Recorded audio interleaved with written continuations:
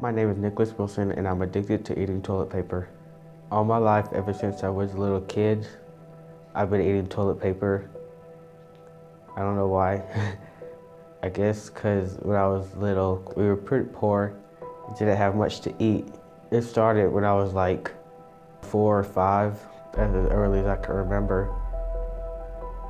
I would be, you know, using the bathroom and actually, you know, eating toilet paper. And at first it's just like, okay, I'm gonna do it because I'm hungry and I need something to eat. And then after a while, I just like got used to it.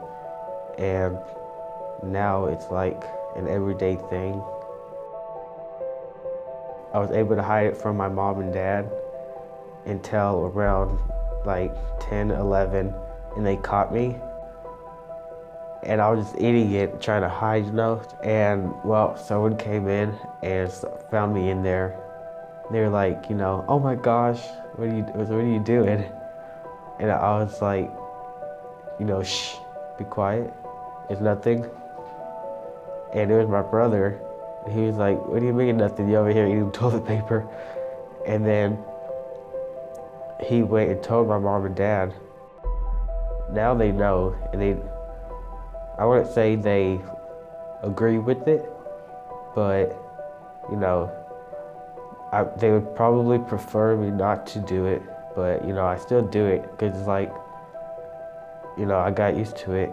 It's basically food for me now. Like, I would eat like a roll or two every week, but now it's like a roll or two every day because it's like my main food. And it's gotten me sick at sometimes because, you know, there's no nutrients or proteins or anything like that in toilet paper.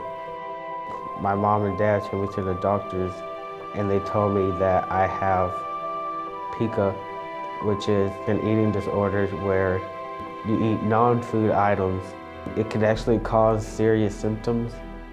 It has like bad side effects and stuff like that. I mean, I'm, I'm fine right now. I'm lucky. I'll probably continue to eat toilet paper for like the rest of my life.